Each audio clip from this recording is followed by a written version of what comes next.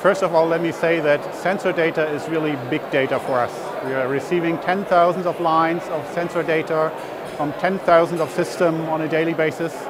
And most of the data are only semi-structured, so it's quite clear that we need some aggregation and extensive data preparation to make them usable for analytics at all. Um, it's quite obvious that automated and highly scalable analytical processes are, are crucial to get any sense out, out of the data and to provide decision support for our service organization.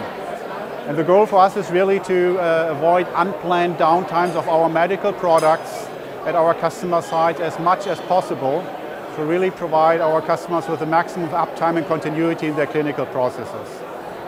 For us as a service organization, um, such analysis also means that we can optimize our service processes and um, save spare parts, save troubleshooting time, and simply get more efficient in what we do.